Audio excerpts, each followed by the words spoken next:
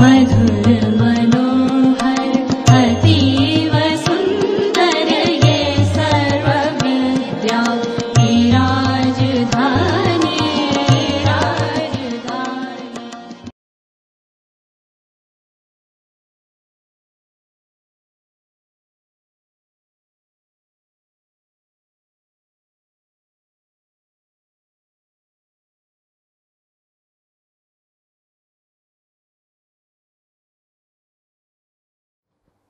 Well, my dear students, we are now back again. This is uh, 36th lecture, 36th lecture in the series of mechanics of metal forming now. So, if you recall in the previous lecture we continued the one dimensional problem. We started with the from the basic concept of finite element method. We, we took one example of uh, the spring element and then a complicated spring element and then we also took examples of uh, bar element. We derived the basic equations, finite element equation and how we calculate the stiffness matrix basically. So, we would continue the same last time uh, last problem that we started in lecture 35. So, 1D problem of bar element. So, if you if you recall, so this was the case the problem where the two bar elements are connected in series and the, at the junction 2 element where the two no doubt the two bar elements diameters are different here. So, the element 1 and element 2. So, uh, stiffness matrix was calculated last time K1 and K2 if you recall.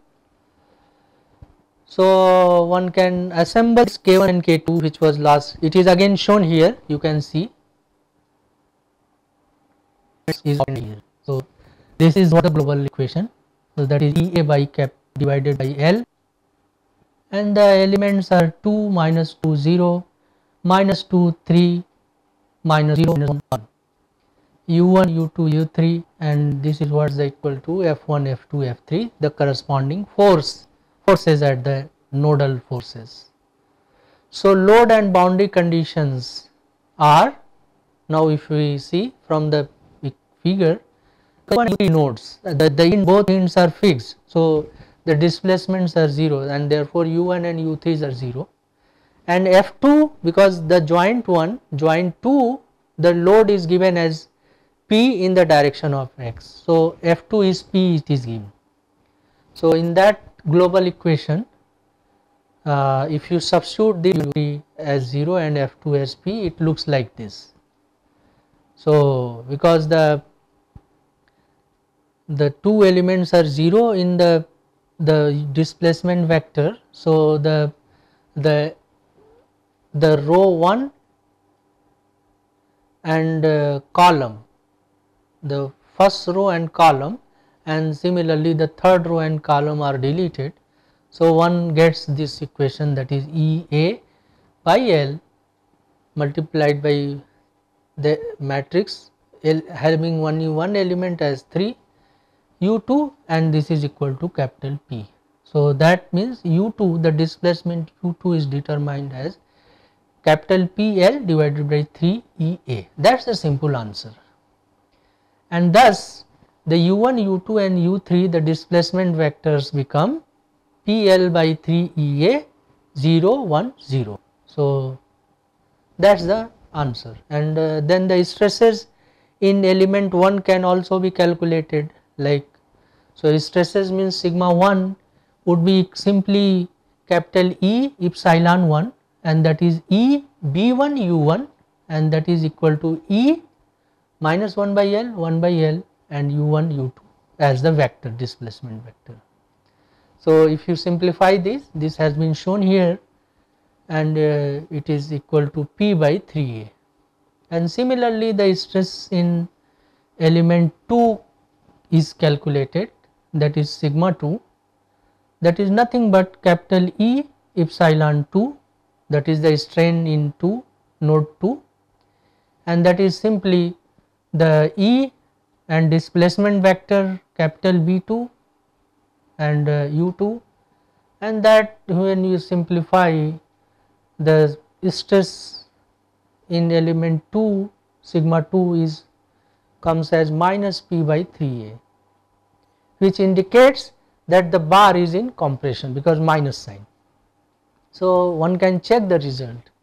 So, the only thing is that to be noted that in this case the calculated stresses in element 1 and 2 are exact within the linear theory of a one dimensional bar structure. It will not help if uh, one further divide the element 1 or 2 into smaller fine element because it is the exact value has been taken. Secondly, for tapered bar, if, if the bar could have been tapered, this is the linear bar, round bar. So, if it is tapered bar, so the averaged value of the cross sectional uh, area uh, should be used for the element. And thirdly, uh, one need to find the displacement first in order to find the stresses. Since uh, we are using the displacement based finite element method, right. So, you have to first find out the displacement and then calculate the stresses in the elements. So, that is the few points are to be noted and let us take another example of the bar here. Here the, the bar is one element and uh, let us determine the support reaction forces at the two ends of this bar which is shown. Uh, the data that is given here are the the P load is acting at the center of the bar in x direction at node 2. So, the P is 6 multiplied by 10 to the power 4 Newton the material property E is given as 2 multiplied by 10 to the power 4 Newton per mm square. Cross sectional area is given as 250 mm square and the length of the that is the whole bar is given as 2L and that is the L is 150 uh, mm and uh, displacement is allowed displacement is 1.2 mm. So, how to proceed? So, one has to find out the support reaction forces at the two ends that is the node 1 and 3. So, as the problem how to proceed? Huh? See the, the contact the, the node 1 is fixed, node 3 is not fixed, there is a wall after so, the delta that it will delta is given as 1.2 mm gap. So, how to proceed? How to find out the reaction? So, one has to first check to see if or not the contact of the bar with the wall on the right side occur or not this has to be seen. So, how to see it? So, to do this one can imagine the that the wall on the right is removed and the let us calculate the displacement of the right inside. So, the displacement of the right inside can be calculated as capital P by capital PL by EA as usual. So, using this data it is calculated that it is 1.8 mm and this 1.8 mm is more than the value which is given 1.2 mm. So, that means that means the contact occur and because the contact occur at this end so there would be a reaction. So, that means you have to the global finite element equation is to be found. So, let us find out for this situation and that is how the node 1, 2 and 3 is created right. So, let us find the, the global finite element equation and uh, this is what is written here. So, using the same previous Uh, the global format. So, it is written as capital E by A L and the stiffness matrix where all the all are assembled then there is a displacement vector u1 u2 u3 and the force vector f1 f2 f3 so the load is given in the problem the boundary condition as the boundary condition f2 which is equal to p and that is given in the problem as 6 multiplied by 10 to the power 4 newton right? Okay. And uh, u1 is fixed that is the element node 1 is fixed so it is u1 is 0 u3 please remember u3 delta it is given in 1.2 mm right? It is given as 1.2 mm. That means u3 is 1.2 mm so one can write down you, you one can substitute this boundary condition in the the global equation and that becomes here. So this is shown here. So, it, it, this equation shows the set of three linear equations.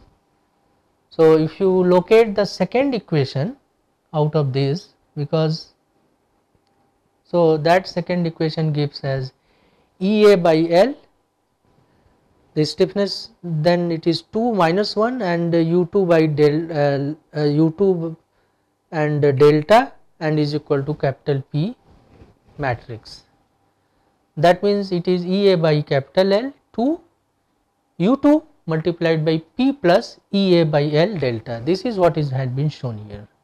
So, if it is solved U2 displacement at the middle one is calculated as half of capital PL by EA plus delta and that comes out to be 1.5 mm right? And uh, therefore the the displacement vectors becomes u1 u2 u3 and it is equal to 0 1.5 and 1.2 mm. That's the we have got the displacement vector so to calculate the support reaction it's a kind of stress. That is the reaction force. Then one can apply the first and third equation in the global finite element method which was previously. So, if if uh, we apply the first equation that gives F1 that is capital F1 force F1 which is equal to capital EA by capital E A by L 1 minus 1 0 and uh, U1 U2 U3 and that gives EA by L minus U2 and that is minus 5 multiplied by 10 to the power 4 Newton.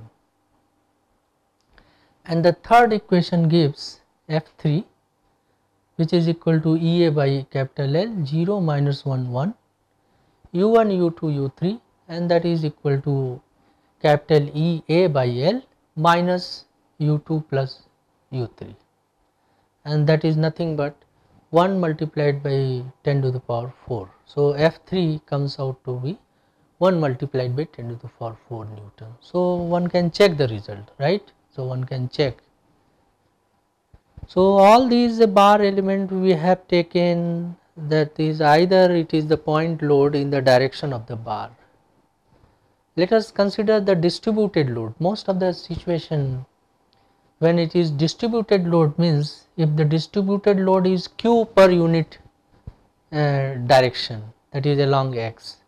So here is the case of distributed load of on the bar element. So, let us see. It is an interesting one. So, again the it is one element i and j as the nodes and q is the distributed load. So, if it is uniformly distributed axial load q in Newton mm or Newton meter or pound per inch, this can be converted into two equivalent nodal forces of magnitude q capital L by 2 when capital L is the length of the element and uh, one can verify this by considering the work done by the load Q. Because work done is as previously explained it is integral over the domain from 0 to L half of u q dx is equal to half of integral 0 1 and uh, u zeta q L d zeta and that is equal to q capital L by 2 integral over 0 to 1 u zeta d g zeta. So, once you now introduce the shape function that is n i and n j and the vector displacement vector. So, if you expand it, so we get the, the, the work done by the load q as half of the displacement vector is ui uj multiplied by ql by 2 ql by 2 that is the last one you can see here. Right. So, that means the work done in the element becomes half of UTF FE with the FE which is equal to QL by 2 QL by 2 and this is what has been shown in equation 22 okay? That means Uh, from if you recall back the work done the strain energy is equal to work done concept for the element then one can write down that 1 by 2 ut ku and that is equal to 1 by 2 f at 1 by 2 ut f plus half of ut f e that is equation 23 and that yields ku is equal to f plus f f. That is what is the equation 24. So, the new nodal force vector becomes your F plus F and uh, that is F1 Fi plus QL by 2 and Fj plus QL by 2 that is the equation 25 and uh, and if you assembly of the bar is taken so one can see here the assembly of the bar like uh, it can be taken the, the, this so far we did it taking as the element one element and having two nodes. The same thing can be done one element and three nodes there is intermediate node considering that now it is divided into two elements. So, then you have to assemble it the, for the element 1 and element 2 same bar one bar but two element. So, it is shown here one can see element node 1 node 2 and node 3 and the forces are QL by 2 QL by 2 at both end and in between the force is QL if it is right. So, that is the one can solve and check it again. Now, let us take so far whatever we did the element was aligned in one direction only. It was in one direction only 1d that is how. Suppose that this element is aligned in two dimension two direction that is that is the bar uh, when it uh, its elements are in two dimension and three dimension if it is. Usual case is three dimension right so let us take first the 2d so, what basic simplification are to be done? So, this is what shows the 2D case of the bar alright. So, this 2D case of the bar uh, where the bar is inclined at an angle theta. So, the the xy coordinate is uh, there. So, angle theta is your x direction of the bar along the direction of the bar x and 90 degree is y. So, the node i and j and theta is there. So, then ui and uh, you can resolve the ui displacement is along uh, bar that is node ij. So, its component is ui and uj there. So, one can take now because it is two dimensional problem so the node i will have two degree of freedom. And similarly the node j has two degree of freedom okay? So then we say two degree of freedom that is i u i and v j v i right? U i and vi similarly u j v j for the two okay? This is clear so as the coordinate system is shown here so the then one can now uh, in with respect to this one can consider the local coordinate system and global coordinate system as far as the assembly is concerned. So, in the local coordinate system what we have variables?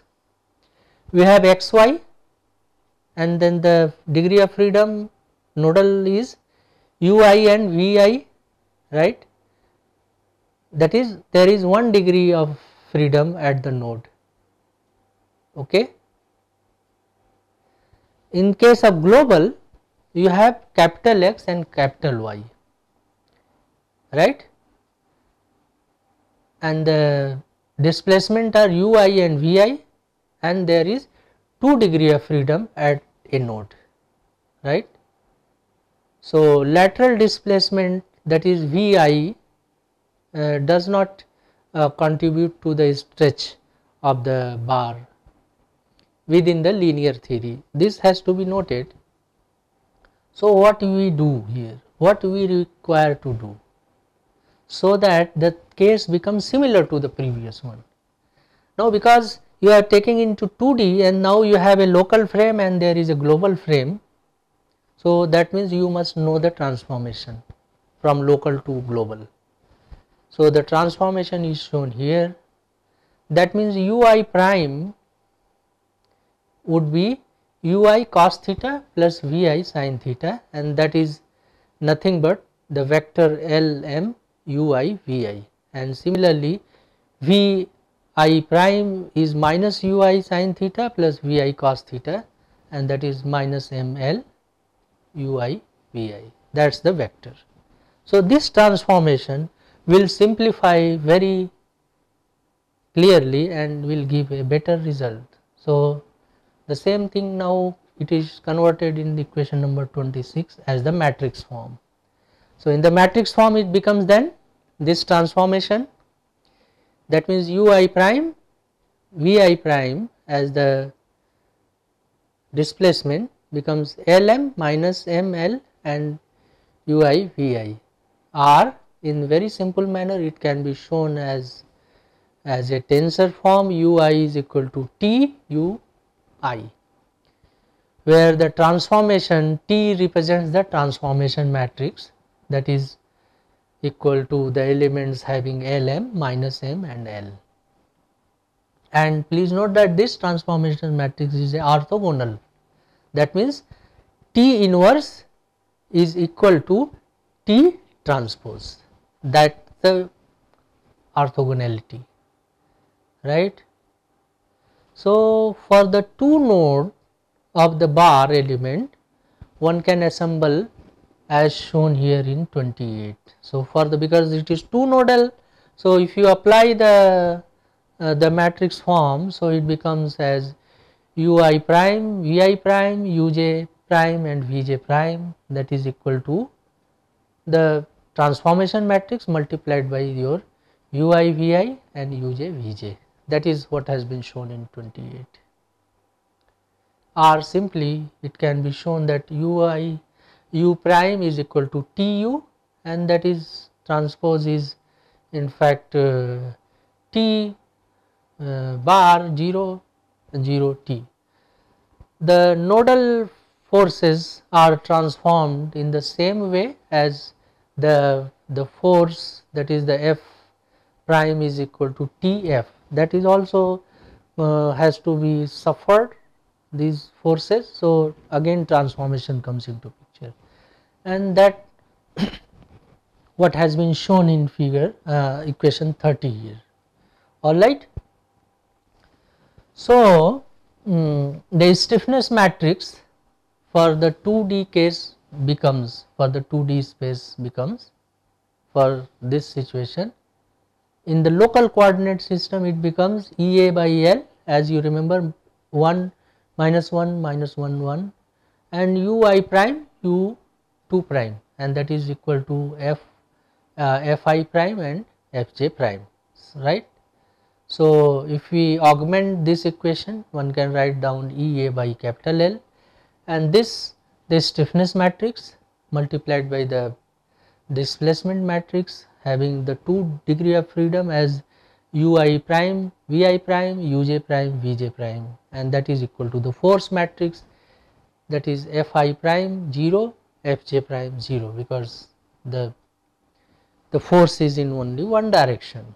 So, r one can simply write is as k prime u prime is equal to f prime and uh, if you use the transformation which is given in 29 and 30 one can find out that k prime tu is equal to tf and uh, if you multiply both side by t transpose and uh, noticing that t transpose multiplied by t becomes in unity. So, one can obtain as t uh, transpose k tu is equal to f. And thus the element stiffness matrix k in the global coordinate system can be written as? That means k is t transpose k t. That is shown in 32 alright. So, this transpose uh, stiffness matrix k is a 4 by 4 symmetric matrix. Because now 2 degree of freedom right? And uh, then this k in the explicit form can be written here which is shown in equation 33 alright. So, k is E a by L and that is a 4 by 4 matrix having the elements. On the top row ui, vi, uj, vj the corresponding displacement nodal displacement has been marked these elements are shown. So, calculation of the directional cosines L and M can be done now easily. So, L becomes your cos theta direction cosine that is simply capital Xj minus Xi by capital L and M is nothing but the sine theta that is capital Yj minus Yi by capital L that is the 34 equation.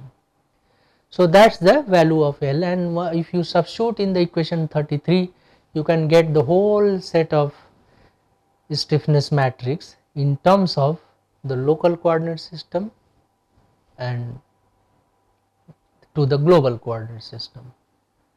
So, the structure of the bar element, the structure stiffness matrix is assembled by using the element stiffness matrix in the usual way as we have already seen in 1D problem. So, then likewise one can then calculate the, the element stress like sigma which is equal to capital E epsilon and that is capital E B U I U J and that is nothing but capital E minus 1 by L 1 by L and that is L M 0 0 0 0 L M and U I V I U J V J. And that is your sigma is E by capital L minus M uh, minus L minus M L M and U I V I U J V J. And that is what has been shown in equation 35 here. Alright. So, that is form the uh, the two dimensional case of the bar. Let us take an example here where the, the, the multi-point constraints are shown of these bars. So, these bars are connected 3 bars rather and it has a multi-point constant like the node 1, 2 and 3 and these are connected these bars are connected in a triangular manner right angle manner. So, and there is a force acting on this you can see this figure node 1 the bar 3 is inclined at 45 degree. From the node 1 bar 1 is vertical and from node 2 the bar 2 is horizontal and the, the node 2 is a sliding it is a sliding uh, connection. So, roller we call it as a roller joint. So, you notice the directions that is at the roller joint there is a x and y local coordinate system and the length of the element 1 is capital L, 2 and 3s are also equal to capital L. So, the global coordinate system is attached at uh, node 1 here. So, x is horizontally and capital Y there. So, now you look at here the global coordinate system and uh, global and local coordinate system both are attached here. So, this is a case which is a plane stress plane truss case it is in fact it is a simple plane truss case. So, the force P is given as 1000 kilonewton, capital L is given as 1 meter, capital E is given as 210 gigapascal. Cross sectional area of the the element is 6 multiplied by 10 power for minus 4 m meter square and uh, for element 1 and 2 whereas for element 3 the cross sectional area is 6 under root 2 multiplied by 10 to the power minus 4 meter square. So, let us find out the displacement and reaction forces. So, now if you if you recall and if you have understood the the derivation for uh, previous derivation where we derived the k stiffness matrix. So, you can use it and then assemble here. So, we have in this case an uh, inclined roller at the node 3 which needs special attention in the finite element solution therefore. And uh, we first assemble the global finite element equation for the this particular case of truss right. So, let us take the element 1. So, element 1 your theta is your 90 degree and uh, L is 0 and M is 1. So, because the direction cosines. Okay. So, you can find out the stiffness matrix K1 by this way. So, the K1 is calculated as by using the equation previous where the displacement are u1 v1 and u2 v2. So, all those elements are written here. Similarly, you write it for the element 2 when the theta is 0. So, L is 1 and M is 0 and so you put substitute the value in the stiffness matrix and you find the value of K2 which is shown here in Newton meter. And finally, if you see the element 3 in the figure where theta is 45, so L is 1 by root 2 and M is also 1 by root 2. So K3 can also be obtained like here.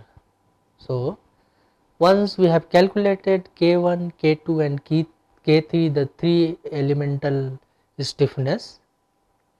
So then one can assemble to get the global finite element equation right?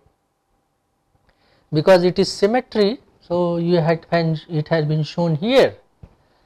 That means it is the global finite element equation is 1260 multiplied by 10 to the power 5 multiplied by this matrix stiffness global stiffness matrix multiplied by the displacement vector that is u1 v1 u2 v3 u3 v3 and the it is equal to the force vector that is f1x f1y f2x f2y and f3x f3y other things are symmetric here all right.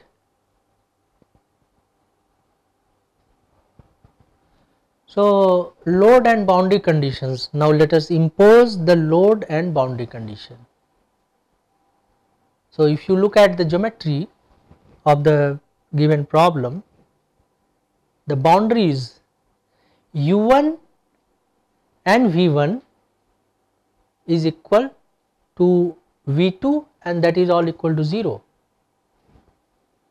and uh, v3 prime is also 0 okay and uh, f2x is equal to p which is given and f1x is equal to 0 that if, if you see the bound load and boundary condition both.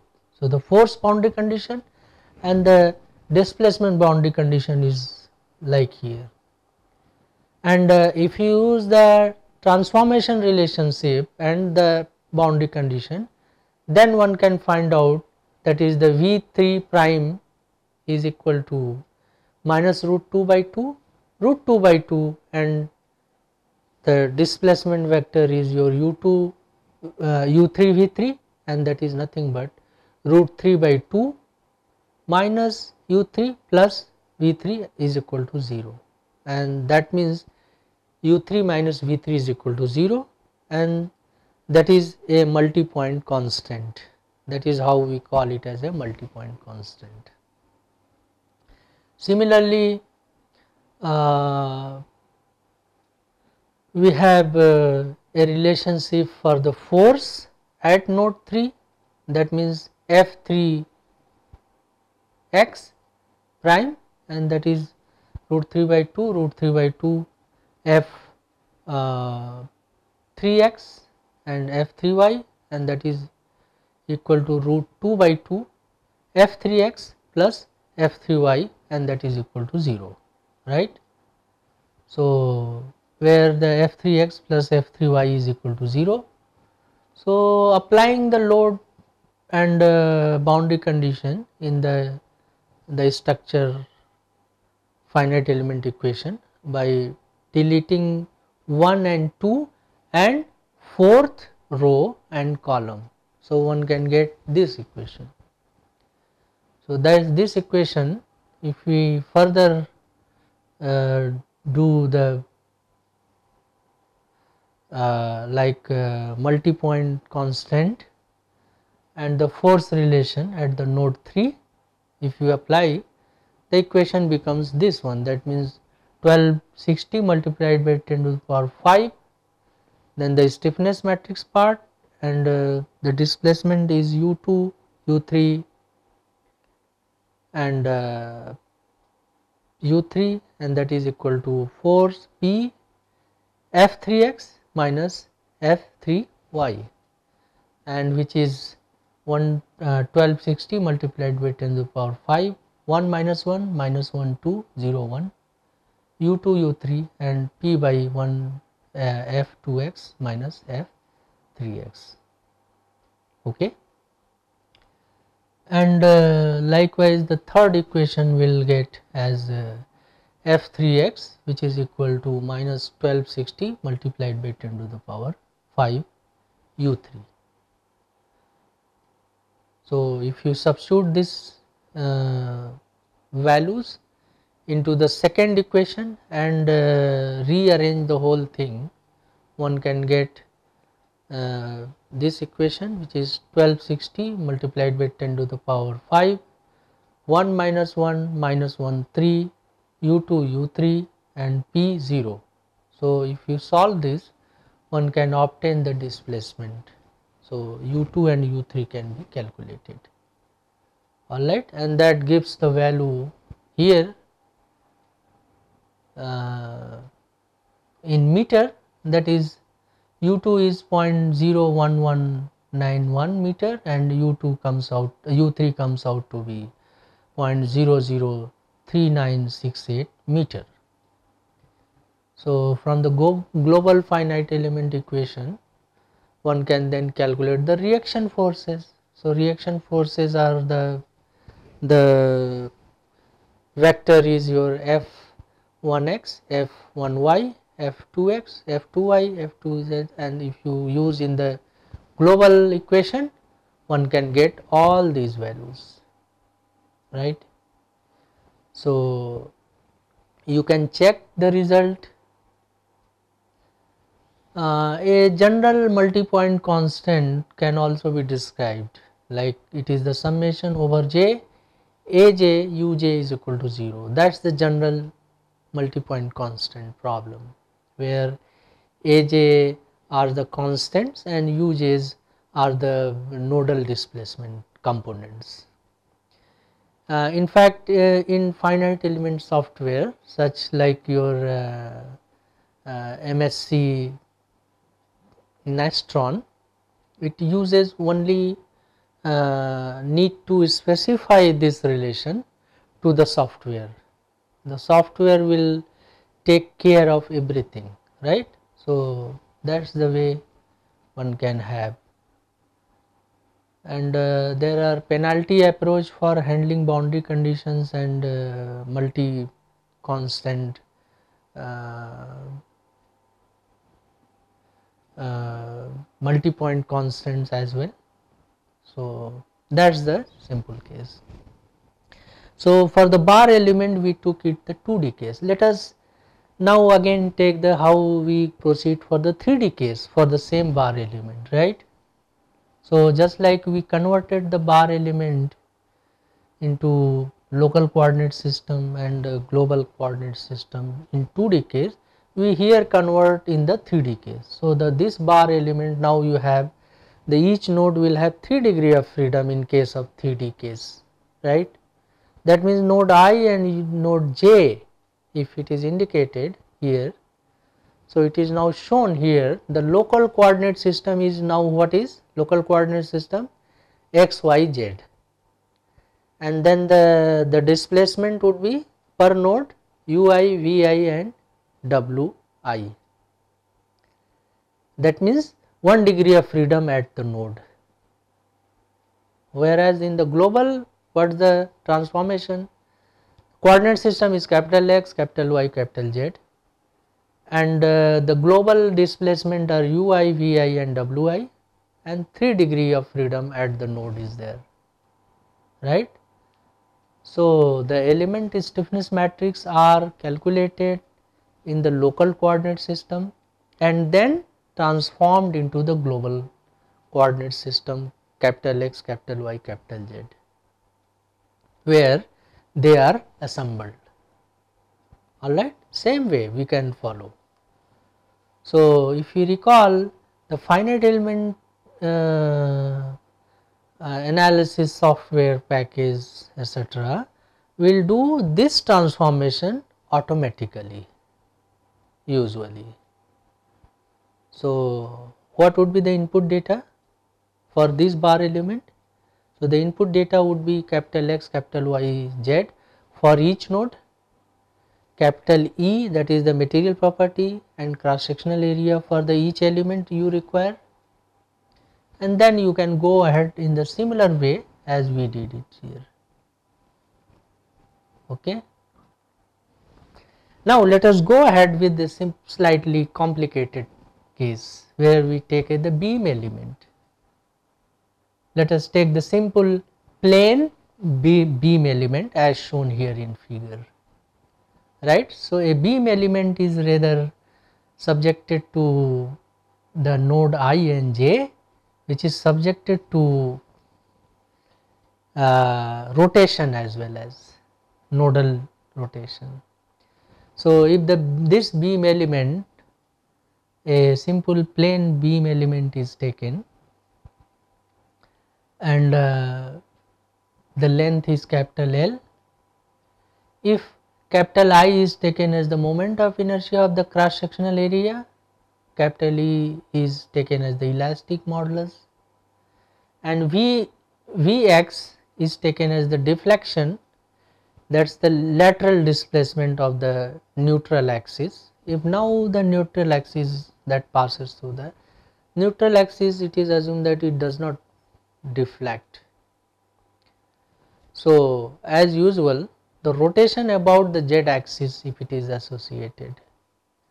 So, theta would be uh, taken as dv by dx and the shear force can be taken capital F which is Fx and moment about z axis can be taken as mx right. So, you see in the figure the x direction and y direction there is a moment i at the node i and moment uh, j mj at the jth and theta i and theta j is also shown and the corresponding displacement vi fi and uh, vj fj is shown. So, keeping this in mind and uh, if you recall the elementary beam theory as I told you, you must have a equation, you must have a partial difference PDE corresponding to the process of the problem. So, here the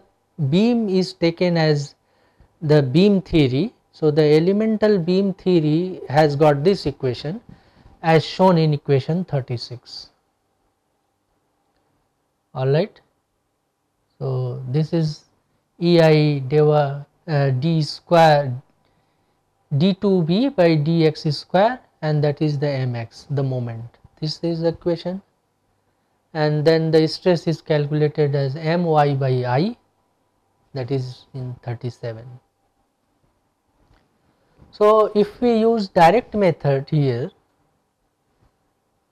uh, using the result from the elementary beam theory to compute each column of the stiffness matrix.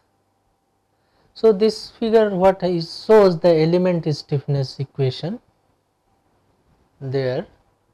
So, one can see that this is what we calculate the stiffness distribution matrix and that is EI by L cube and the the element the stiffness matrix and then there is a displacement matrix consisting of displacement and rotation and this is the force matrix vector uh, force vector including forces and moment. So, that is shown in 38. So, this is what is the elemental stiffness matrix for the local node i j r 1 2 simply right. So, as far as the formal approach is concerned, one can apply the formula 39 here.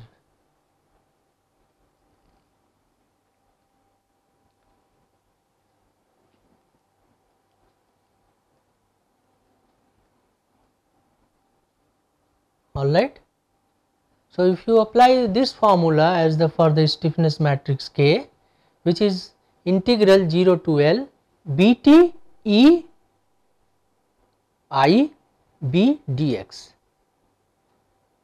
So, to derive this let us introduce the shape function. So, we have to choose the four shape function that is n1x, n2x, n3x and 4x. So, if if it is taken the shape function as uh, uh, the cubic shape function. So, it becomes n1x is 1 minus thrice x square by L square plus twice x cube by L cube. N2x is x minus 2x square by L plus x cube by L square. And then it is n3x is thrice x square by capital L square minus twice x cube by L cube. And then n4x is minus x square by capital L plus x cube by L square. That is what has been shown these uh, shape function in equation 40. You may choose a different shape function no doubt right. So, uh, then one can represent the deflection as Vx is equal to capital N u. Capital N is the shape function vector vector of shape function and u is the displacement vector. So, this Vx is nothing but n1x, n2x, n3x, n4x and that is your Vi theta i, Vj theta j that is what has been shown in 41. So, this is a cubic function. Notice that n1 plus n3 is equal to 1, n2 plus n3l plus n4 is equal to x, okay, which simplifies that uh, the rigid body motion is represented by the assumed deformed shape of the beam alright. So, that is the rigid body motion consideration. So, one can one knows that the curvature of the beam is given as d2v by dx square and that is nothing but d2 by dx square nu and that is nothing but equal to capital Bu that is what is has been shown in equation 42 where the strain displacement matrix capital B is given by capital B is given by what? That is d2 by dx square capital N. That is the shape function vector. And that is nothing but n1 uh, prime x, n2 prime x, n3 prime x, n4 prime x. And that is if you calculate the these primes that is the derivatives it becomes minus 6 by L square plus 12 by x L cube and then this n2 prime x becomes minus 4 by L plus 6 x by L square and n3 prime x becomes 6 by L square minus 12 by x L cube and n4 prime x becomes minus 2 by L plus 6s L square that is what is the equation 43. So, strain energy stored in the beam element. If, if one is interested to find out it can be calculated as the last explained. That means strain energy it would be equal to what?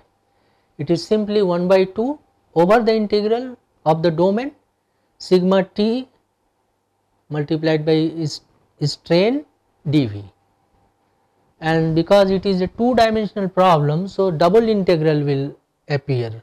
See it is a volume integral volume so the volume it is 2d problem so double integral will be there.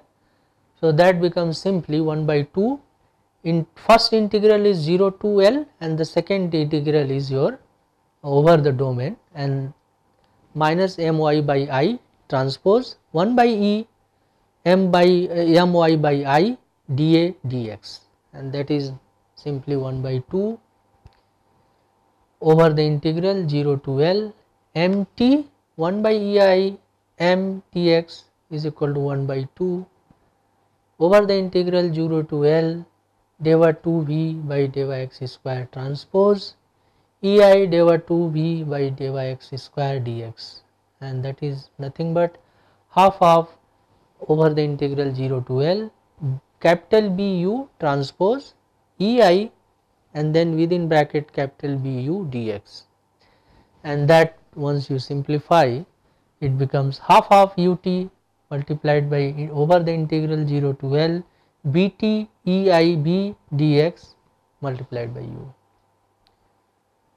So, we therefore conclude that the stiffness matrix for the, the simple beam element is k. This k is integral 0 to L Bt Ei b dx that is the simple and the values of Bt and all those things is shown here in equation 43 and uh, E and I's are well known. So, one can then find the, the stiffness matrix. So, if you apply the result which has been shown here in equation 43 and uh, if one carries out the integration one can arrive at the same stiffness matrix which was earlier given in equation 38. So, combining the axial stiffness that is the bar element one can obtain the stiffness matrix of general two dimensional beam element. So, the general two dimensional beam element the stiffness matrix becomes this one. So, this is what has been shown here. So, now you look at the top row the, the elements corresponds to ui, vi, theta i then uj, vj, theta j right. So, these are shown here. So, this is in fact 1, 2, 3, 4, 5, 6 it is 6 by 6 matrix. So, this 3D case of the beam element becomes a stiffness matrix is 6 by 6 right.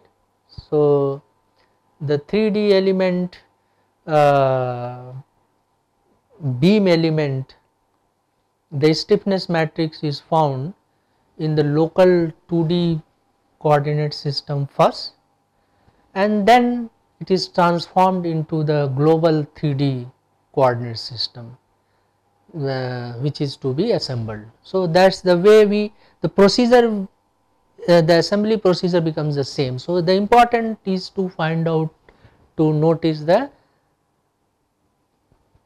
K matrix that is the stiffness matrix and then, then you have the displacement uh, vector and then the, force vector and you one can solve. So far we discuss uh, 1D cases, but the, when we consider the element from the 2D and 3D consideration side. Now let us see some of the theories, basic theory concerning two dimensional problems right? And uh, so let us see some of the reviews of the basic theory for the two dimensional problem. In general the stresses and strains in a structure consist of 6 component right? What are those 6 component? That is sigma x sigma y, sigma z, sigma x y uh, and uh, if it is two dimensional then tau x y, tau y z and tau z x. These for stresses and for strain it is epsilon x, epsilon y, epsilon z and then the shear component x y, y z and z x for the strains. So, look at this figure it is a cubic and the, the direct stresses are sigma x, sigma y, sigma z and the corresponding shear stresses on the faces are shown here. So, under certain uh, conditions the state of the stresses and strains can be simplified. A general three dimensional structure analysis uh, can therefore be reduced to a two dimensional analysis here. Okay. So this uh, the 2d two dimensional problem you we would consider next time in the next lecture. Uh, that means lecture uh, 37th lecture we would consider. And uh, we would solve some and we would take some examples based on the 2D cases right. So, the my purpose is to show you in very brief the finite element method starting from the very concept and then how would we use it for the metal forming that is my purpose alright. So, I will again ask you that you please practice these concepts whatever we have discussed so far at least you uh, go through once and uh, please make your concept clear so that we would we would certainly pick up the, the basic concept of finite element method, a popular for the metal forming, right. We would continue this up to around uh, 38 to 39 lectures to build up and uh, we will take up some three dimensional metal forming problems, how do we solve using these concepts and that is what I am going to prepare you people through this concept so that we would be able to consider uh, and understand the, the metal forming modeling using finite element method. So, with this hope I thank you once again you all for keeping so much patience, listening carefully, asking questions and all that. So, but uh, please do not forget to communicate me, give your feedback you uh, on the through the net.